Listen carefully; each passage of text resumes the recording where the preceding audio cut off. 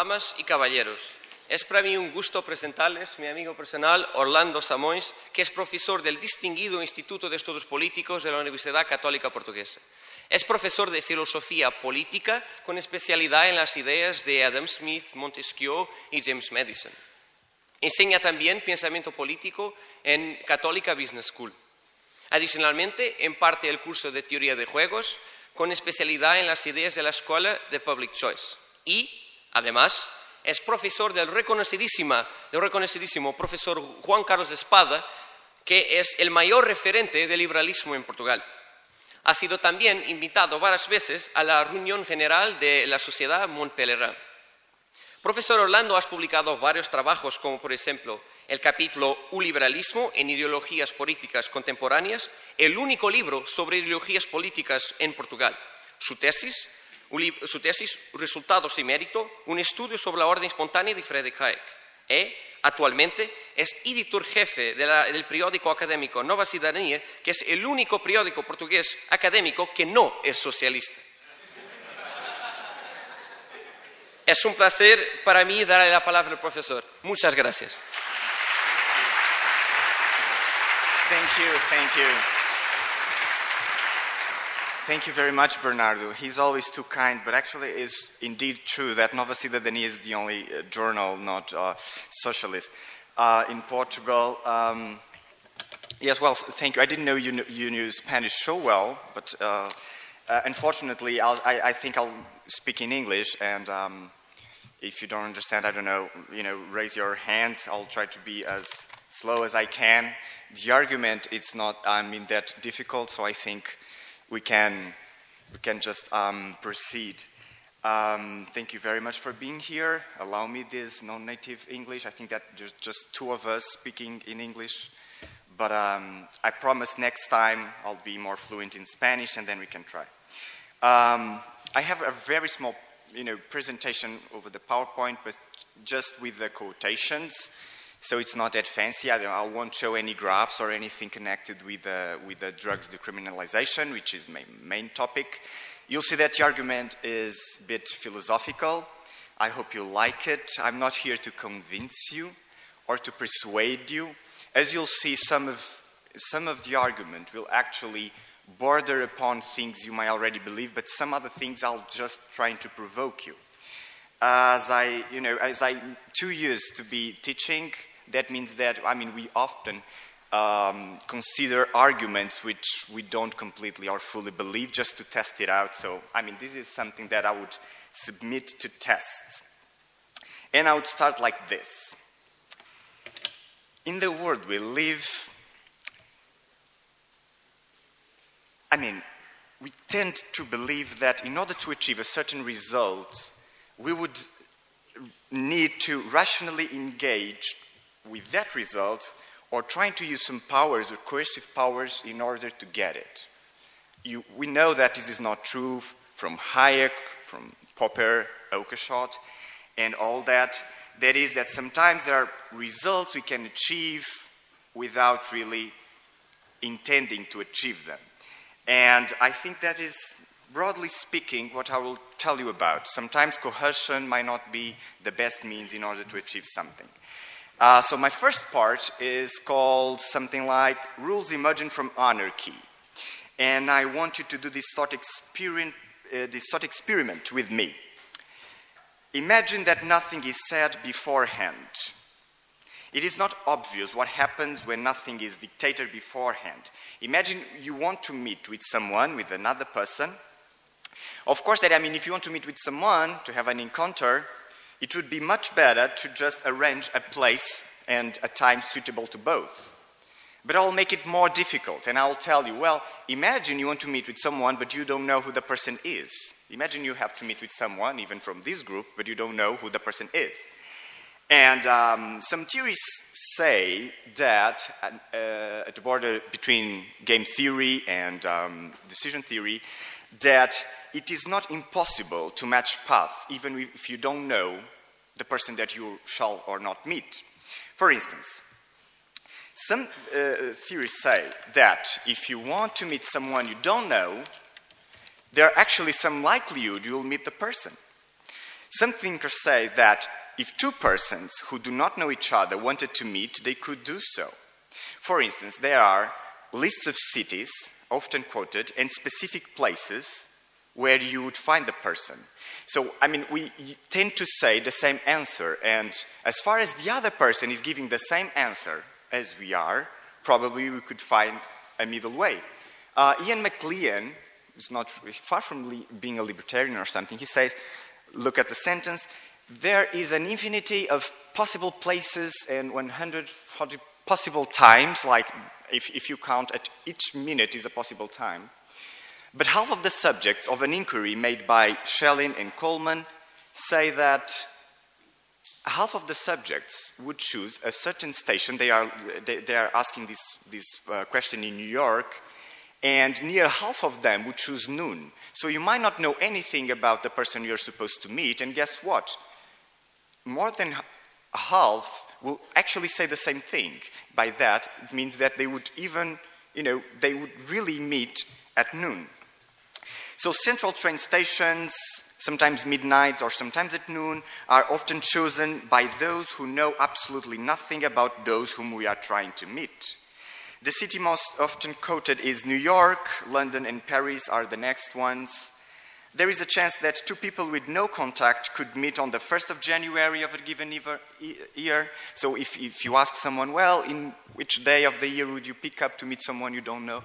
Many people say 1st of January, so then guess what? They would actually meet on the 1st of January. So if we relax these hypotheses and include some time of knowledge about each other, about a person, or the reason for this meeting to take place, uh, then the chance of, light, of matching increases. The lesson then is simple. We do not need to have an enforcing mechanism to have order Order can be the result of spontaneous interaction. Well, we know that by Hayek, but it's always good to know that statistically it also works. So then we can also say that, you know, these people that consider that grown apparatus of free interaction can be chaotic, licentious, wicked, or morally neutral, uh, they, I mean, they might be invited to reconsider this. When we actually think about emerging rules of conduct resulting from human interaction, we can see that these chaotic, licentious, and wicked apparatus of free interaction won't really happen. Um, let me give you an example, uh, which I really like. It's the example of carpool. Carpool is um, basically a method by which people give free rides to each other, to people who they don't know. And people who do not know each other share a car and uh, split the costs between them. This practice is, uh, you know, um, takes place in the United States mainly, but it's starting uh, here in Europe, probably you heard about. So we, we can actually argue that um, the situation started in some sort of anarchy. Nothing was said beforehand, and now we have a system of uh, free lifts in the car or, or, free rider movement in the car. And um, um, at a given time and place, some concrete place near some certain sidewalks uh, started to be the place for each one with a car uh, and, uh, and, willing to share the car in this carpool mechanism. This, this place started to be the place for the carpool. No one said in advance, well, let's, you know, let's take this sidewalk and meet here. But some sidewalks start to be more, you know, used. It's like, you know, the idea of the central station. There are some spots that, you know, currently and uh, more recurrently people just use. So, I mean, but this does not mean, actually, on the contrary, that these places found through interaction are arbitrary or, again, chaotic. On the contrary, as you see, there are some you know, fixed places, fixed rules, fixed times that actually happen to take place without us telling a word beforehand. In fact, the carpool locations were the most convenient, otherwise, they would not even be considered for such a purpose. So, actually, it was places where the cars could actually stop and take you know, someone in to give a lift to some you know, place. The time and place determined was actually then found to be the most proper time and place and all the other alternatives were turned, uh, turned down, but they were turned down not by you know, mandatory action or by coercion of the state, they were just turned down. Now let's make the, you know, these even more interesting. Because, well, you can say, well, this carpool thing is very efficient, but now let us, let's make it more than efficient. So let's say that, and again, I'm not trying to convince you, far from that, let's say that actually these results from interaction can be good uh, to some extent, can be morally accepted. For instance, at some point, some women started not to show up to carpool with other people. They just disappeared. And the consequences were devastating as the number of cars willing to carpool decreased and the waiting time in queue increased. And I mean, the system was being um, destroyed. So, in order to restore the business, some men started to think that, well, we must behave as gentlemen and probably we should uh, allow women not, uh, to not allow women to stand alone in the sidewalk. So let's give them the priority in the carpool. And that was actually quite good fun because a tacit rule arose, a practical rule, uh, which gave the women a priority in the queue. So in this process of carpool, women may never stand alone in the, in, in the sidewalk. They always are preferred. Um, by knowing beforehand that they, the women, would never be left alone at the sidewalk, women returned to the carpool venture. The queues diminished and efficiency thrived. It was in everybody's interest, self interest, to sustain a laudable and moral rule of conduct, saying women have priority. Again, without an act of legislation or regulation, a general rule was found by the interaction and its efficacy, and it is easy to argue that it is, a, it has or it entails a moral dimension. This rule, which gives priority to women, is not neutral. In fact, it gives priority to people considered more vulnerable or just to the ones who didn't feel comfortable with the previous rule, which was uh, first come, first served. This, the carpool practice also led the creation of another spontaneous rule. For instance, travels in, inside the car, inside the carpool, are not supposed to talk about football, religion, or politics. Don't, don't ask me why. Uh, it was by experience that this rule came about too. This is certainly a further constraint on liberty of the passengers, and yet it was in liberty and in free interaction that they choose to establish it it is uh, a voluntary and generally accepted. My argument then would be go, go like this to enjoy liberty is often to know where or how to curtail it, liberty, by means of general rules. These general rules not, were not meant to hamper liberty, but actually it allows us to enjoy it fully. Otherwise, we would lose these good practices with good results. Then it is because we treasure liberty, I think, that we may accept some form of rule of law. Again, I'm not trying to convince you, but some may agree. And some may also agree that some sec- uh, excesses of liberty lead to licentiousness. Um, and here, let me do a, like. Let me start with a deeper note. Some people say that our ancestors in the Genesis were expelled from the Garden of Eden precisely for taking a bite out, out of the only apple they could not reap. To some medieval philosophers, this so called the fall of humanity represents the passage from a state of perfection to the state we are in, full of injustice, diseases like Ebola, death, and all that, war, so it seems that, you know, according to these authors of the Bible, let's put it like that, a sneaky snake enticed Eve's appetite over proper limits, leading humanity towards damnation. Now we are all doomed. But look at this carefully. And now let's look at it with Adam Smith. Um, it is true that, I mean, Adam and Eve in the Garden of Eden felt tempted to know more and to know as much as God. That's why they reap the apple. But maybe they were conceived as such. I mean, why did they listen to the snake first place? Therefore, we can argue that temptation lay inside our hearts before the snake came to visit us. They were ultimately, they, Adam and Eve, were ultimately designed not to be perfect. They are imperfect, otherwise, they would never listen to the devil.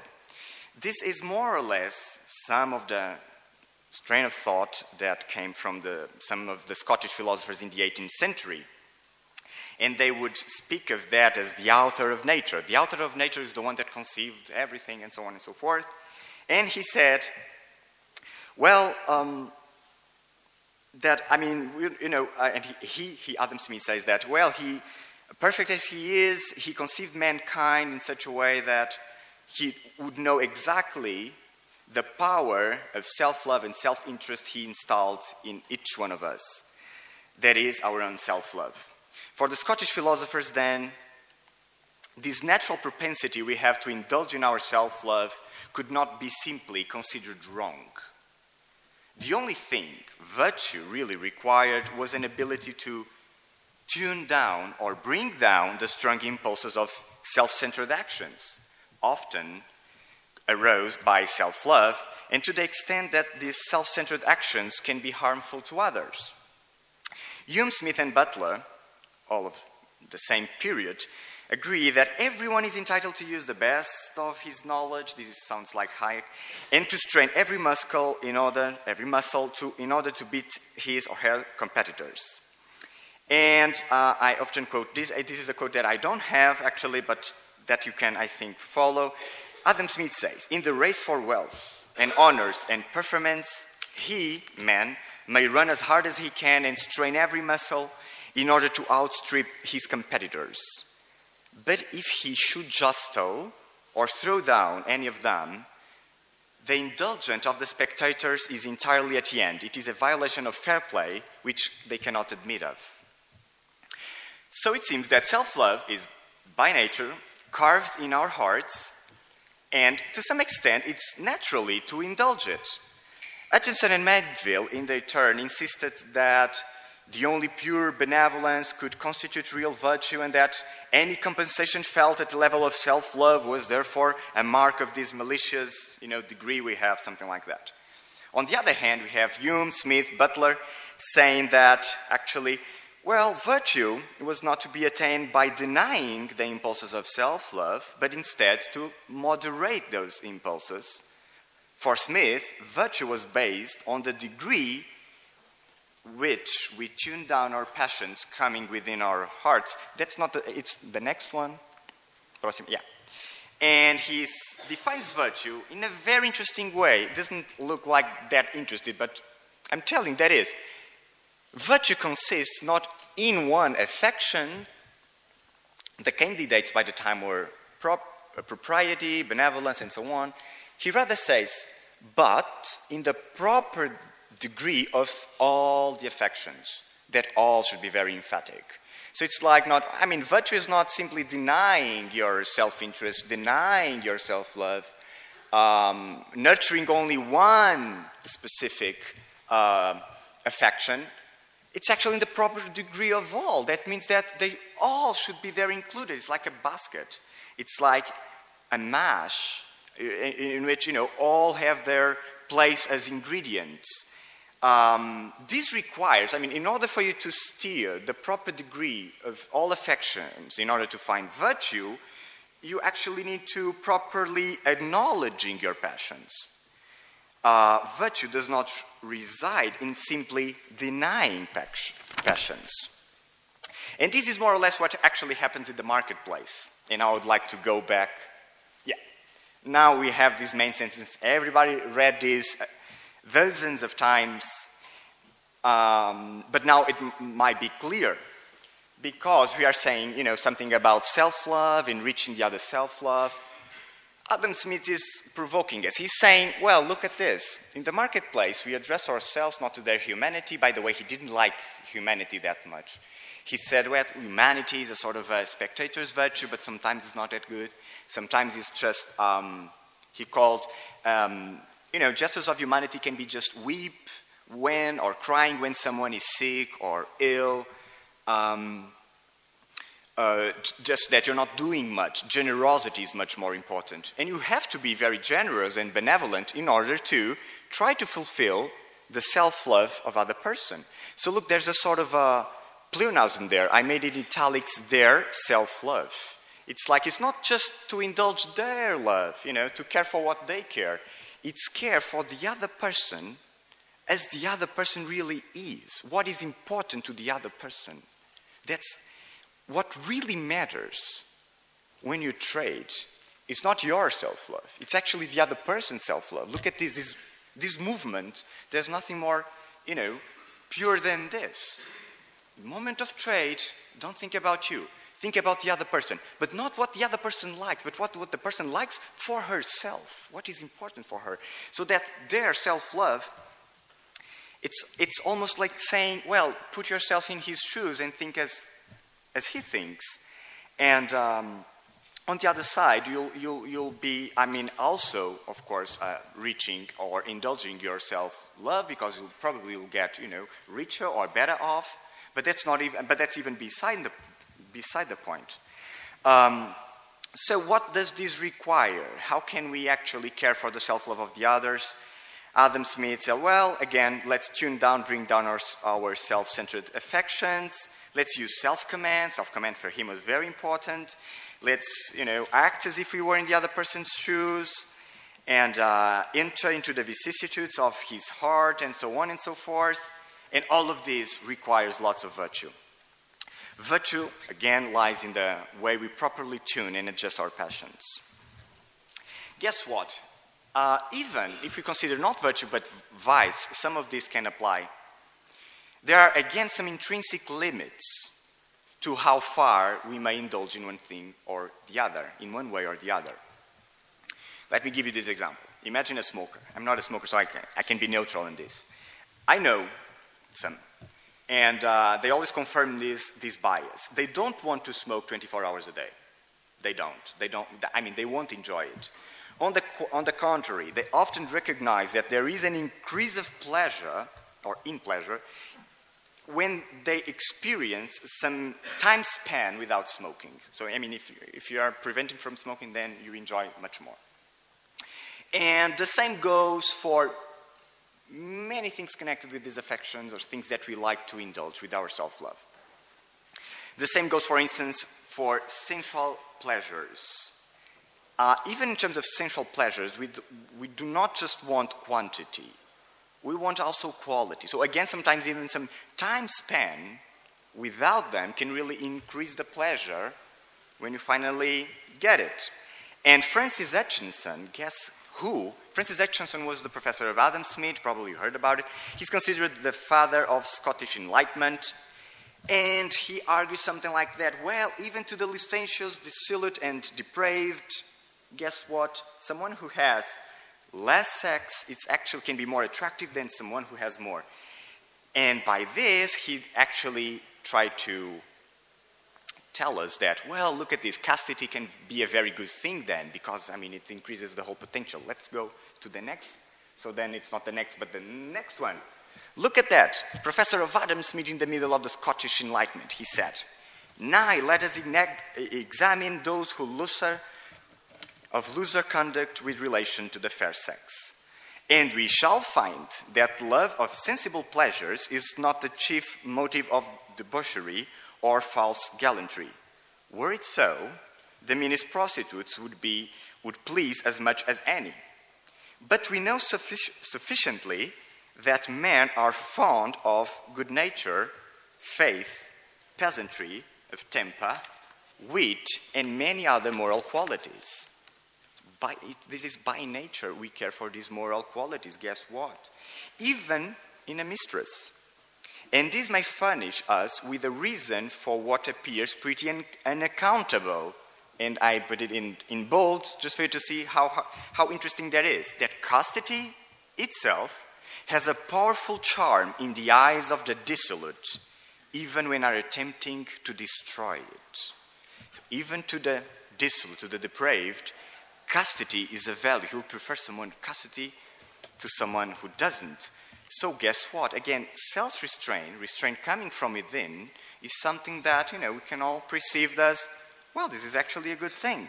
So we tend to prefer the one who actually exalts greater virtue. There is self constraint, self control, self command. And uh, of course, this is something that we might not all agree, and I'm, I'm trying to convince you. I'm just quoting from Hutcheson. But the point is clear that liberty may not always or inevitable lead to an unstraight action. On the contrary, liberty may actually to induce us to curb improper behavior and to impose limits on our own action. And these limits come from within. And uh, if these limits come from within, if we easily find that, you know, custody or this sort of prudence, this sort of self control is important, if and only if may be coming from within, what is the role of the state concerning these things? And now, in order to actually reach what I think could be the role of the state when it comes to things like, you know, vices or things from which we may take pleasure, uh, let me start with a medieval thinker, and now I'm getting even more provocative, which is St. Thomas Aquinas. Guess what? According to St. Thomas Aquinas, passions, and following our passions, was not good or bad. Passions for him were simply passions, just that. It is only through mediation of reason that we would understand the morality of actions but passions are excluded from this charge precisely because they are not mediated by reason. They are precisely affections, strong affections, that come directly in what he called our soul. Passions, then, according to Thomas Aquinas again, don't ask permissions and they don't concede any sort of negotiation with reason. Uh, according to Aquinas, then, you may love someone or something which, which you wish not to love. I mean, you wanted to choose who you fall for, but I mean, you can't. It's passion. Um, but then, therefore, you may not say that loving something or someone is simply wrong, because in order to make it wrong, you need this intermedi- intermediation and intervention of reason.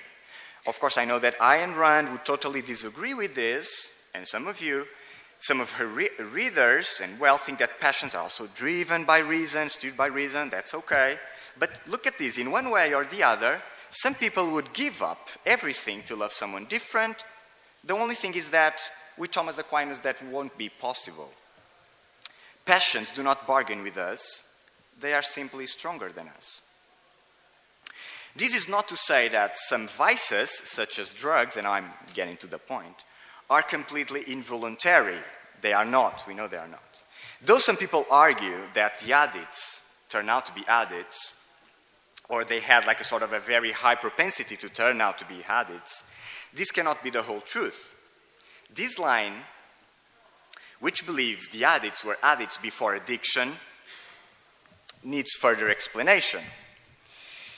But to some extent, um, I mean, if you follow this, we would actually argue that, you know, the vice of falling in the vice of drugs or something would be inevitable due to genetic inborn combinations. I'm not a psychologist. I don't believe in this, but again, it's a psychological approach, which might not be right. But a lesson can be taken from this. This can contribute to an argument that says that to some extent, the person falling on a vice may lack some control over the vice itself. And uh, that's what the Portuguese thought in the, in the 80s. The person may need then help, not really imprisonment. And uh, now we can change from Hutcheson to David Hume. Look at what David Hume, not that, actually the next one. Oh, good, yeah, that's the one. Not that I agree with David Hume, which I don't, but look at this. Says he, were the disposal of human life so much reserved as the peculiar pr- province of the Almighty, that it were an encroachment, an encroachment on his right for men to dispose of their own lives. And then he says, it would be equally criminal to act for the preservation of life as for its destruction. What does that mean? I mean, if we believed in God, in the Almighty, then our life is not at our disposal. Our, our life is not ours, it's, you know, it's God's.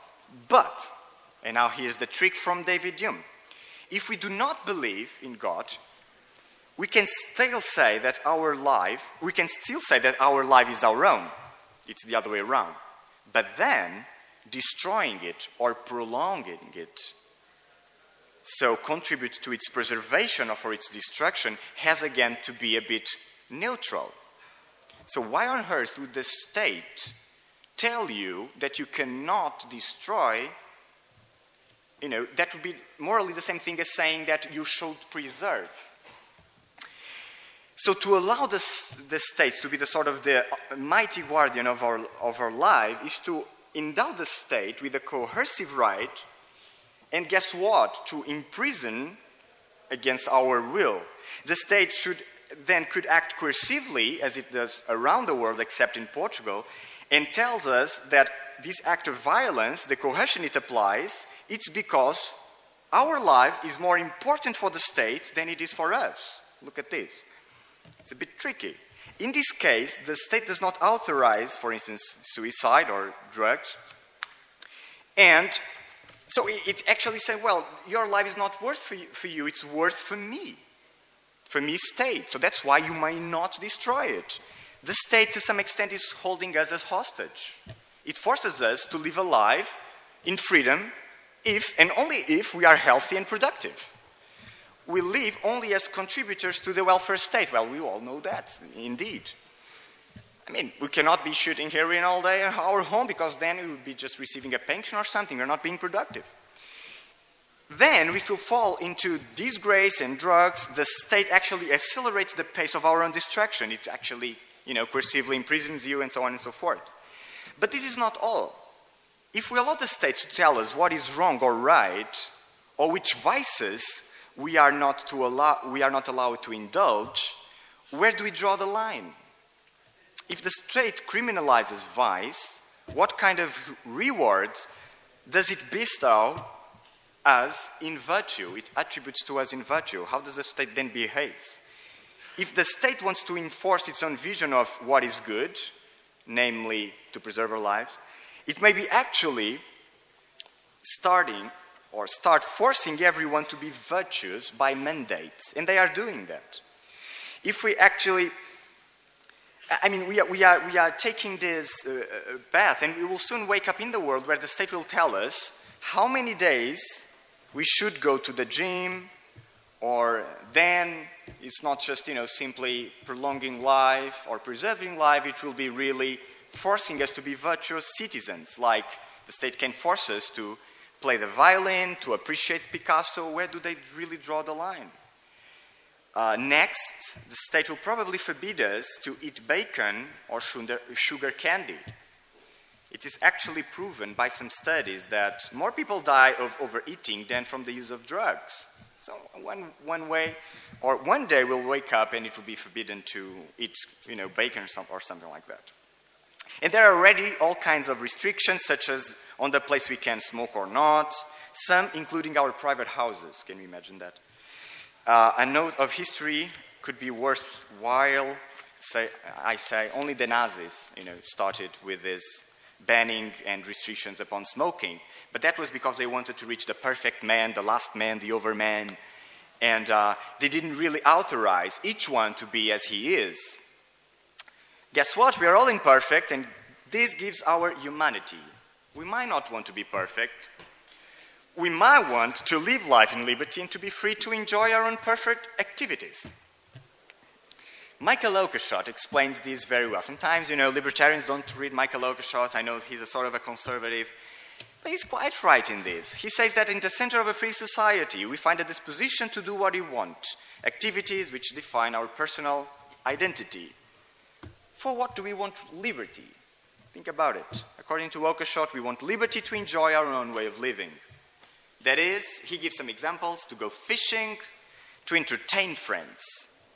Speaking of entertaining friends, and I'm already told that I have just some minutes, but speaking of which, I would like to make you a comparison between several kinds of drugs because some drugs are actually legal, others are not.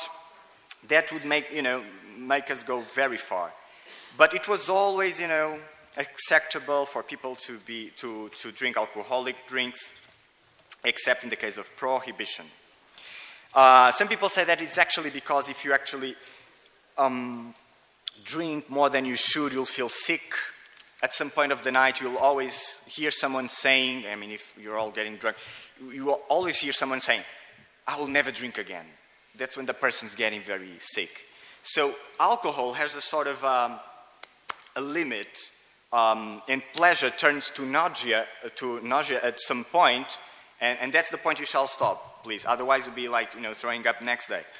Um, but it is indeed, on the same regard, a great mistake to restrain distribution of alcohol through legal action. We had this, you know, uh, prohibition, dry law, things like that. Uh, at least in Portugal, there was never such a thing. Actually, on the contrary, the more countries restricted, Salazar said, well, over one million people work in the wine industry, so uh, we don't really care. What, what, what he said, well, he was a, you know, terrible dictator, but he was right on that, I think. And guess what? the more you actually forbid alcohol, it's like the forbidden fruit of Adam and Eve again, the worst. And guess who said that too? Adam Smith. And that's amazing. He talks about the Spaniards and everything. Now, the next quotation is really interesting. Like I was telling you, instead of showing graphs and stuff, we can hear from the master. Adam Smith says it deserves to be remarked that, too, that if we consult experience, the cheapness of wine, of wine seems not to be a cause not of drunkenness, but of sobriety. Wow. The inhabitants of the wine countries are in general the soberest people in Europe. Witness the Spaniards. Hello. The Italians, some of them there. And the inhabitants of the southern provinces of France.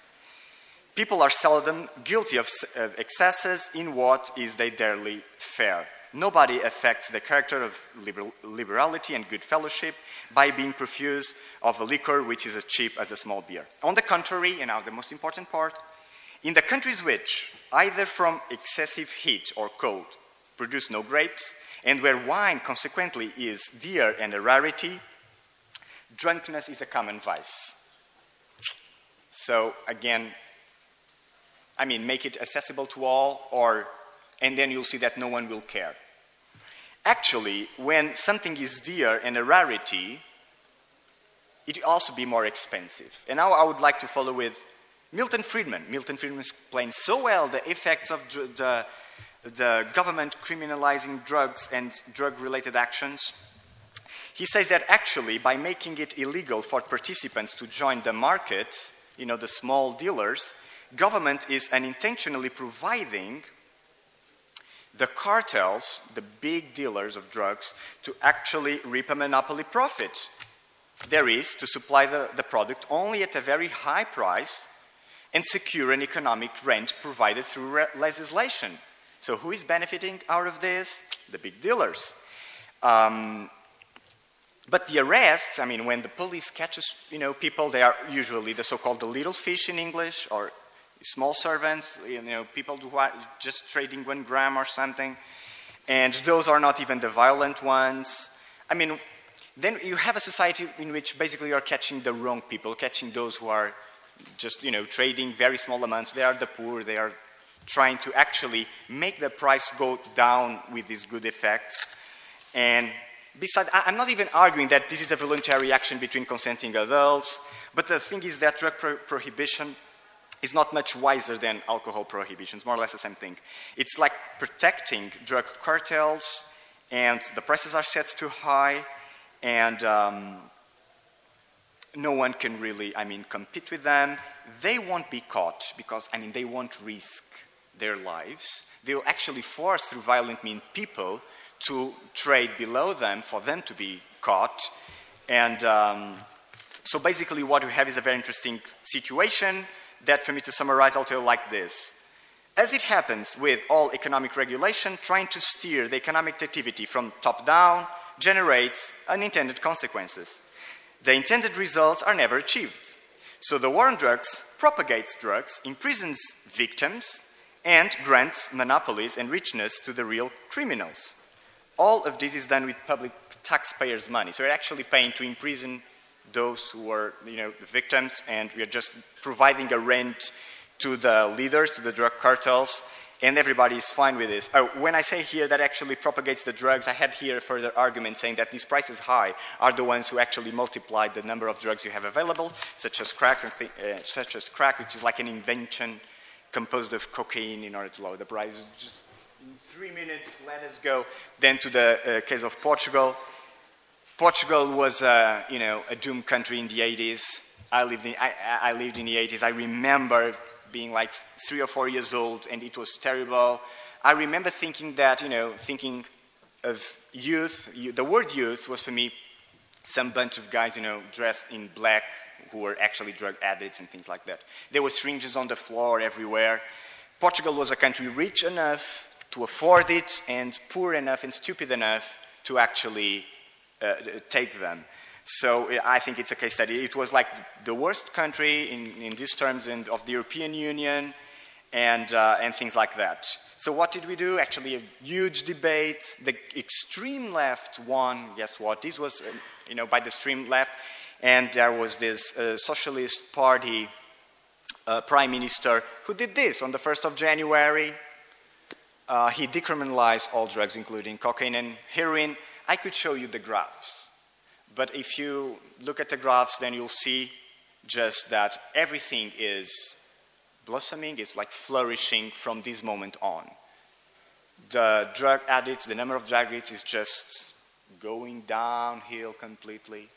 The, um, you know, the diseases transmitted through the use of needles and so on and so forth has decreased, but so much that it's, you know, completely under control now, especially for a country with such a problems and so on and so forth. And, um, and basically, the only compulsory part is that we force the drug addicts to enter into some state, state-run programs with methadone and things like that, who are actually, I'm not uh, looking at, you know, I, I, I, am. And I think that if you consult the, da the data, there's a, a Cato paper from which I'm quoting this from Glenn Greenwald. He completely explained and very well what happened and how good this was. And yes, Portugal could manage this problem, and now I think that we are an example. As Students for Liberty used to say, liberty works, let's give it a try. And I would add something, probably the last, the last slide of all. Liberty works indeed, as you used to say, but it also favors virtue. And I think that's a great thing. Thank you.